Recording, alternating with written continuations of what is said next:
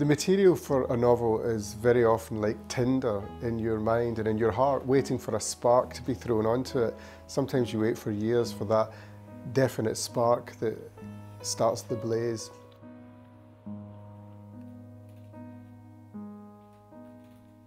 The Illuminations uh, is my fifth novel and it's set in the present day.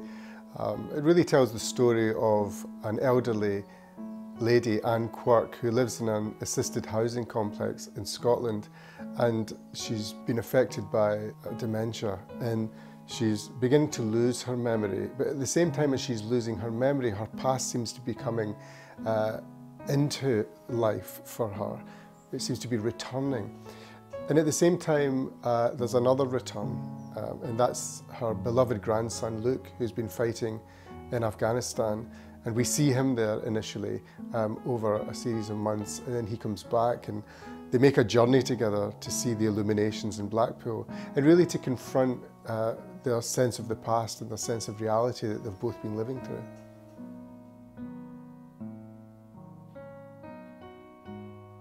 The inspiration for the book really came from uh, a now slightly forgotten photographer called Margaret Watkins, this woman who'd been born in quite a middle class artistic family uh, in Hamilton, Ontario, in Canada, and had had a good education and a great start in life and had become a very significant, original, modernist photographer um, in the jazz era.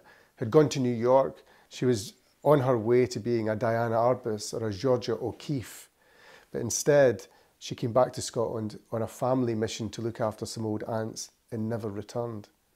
I grew up among a lot of women who did have talent and who had a sense of ambition, but they were often drawn back into silence, back into domestic duty, uh, childcare, and somehow their talent, although not being snuffed out, was sl slightly occluded. And that had been in my mind for a long time that I wanted to write a story that would somehow draw that out. In Margaret Watkins, when I discovered her pictures, I saw that that was the occasion. That would give me a model. It's very often the way it works in a novel is that you have uh, a few suggestions from reality, from the real world, and they lock on like proteins to material that's inside you, that's in your imagination.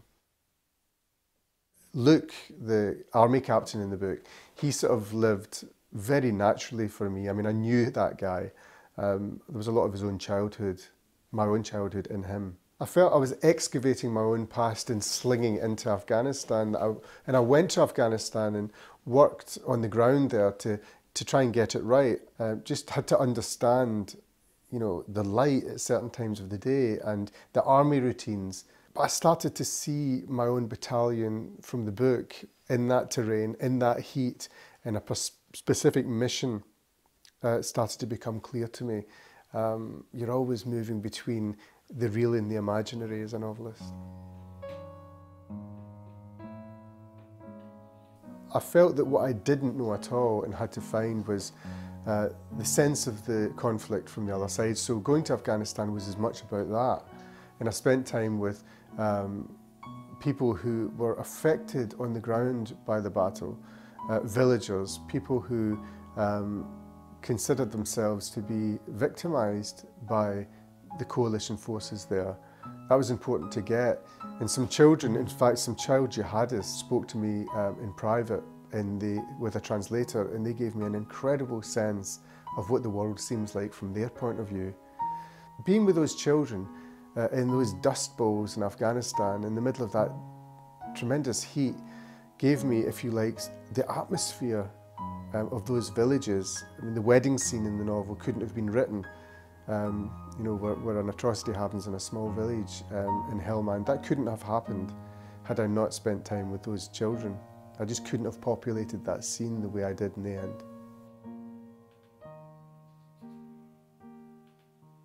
Over time, what I discovered was that this was a book about the nature of reality now, the nature of uh, the actual versus the imaginary. And it's not accidental that the main character, Anne Quirk, is a photographer. Photographers deal in the whole time between appearances and the imagination. How do you frame reality? Um, how do you uh, process reality? All terms from photography, you know. It's a book about memory and love and loss. And memory isn't just a series of photographs stuffed in a drawer. Um, you remake your past every day. And I wanted the book to show how uh, characters were in a constant state of imagining and rebuilding and remaking their past. In a modern context, I think we live in a world of images and reporting, and uh, especially now with social media, that reality sort of batters at us constantly. But to what extent is it real? To what, extent, to what extent is it reality? You know, are people on Facebook living a life and describing it, or are they making it up? These questions interest me. They interest me as an essayist as much as a novelist. So, when it comes to a book like The Illuminations, it's always going to be at some level um, an attempt to get a hold of what we mean by our experience.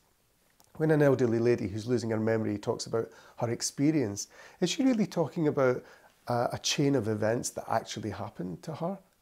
Or is she talking about some events that happened to her and some things that she wished had happened to her, thrown in with things that never happened? And uh, people protect their past, they protect the story that they wish was true. I remember growing up hearing women sometimes talk very well of men that I knew weren't good to them.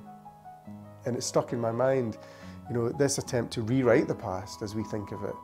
Well, we all do that to some extent, and I think modern society and technology invites us to do that even more, to manufacture our lives as opposed to just live them.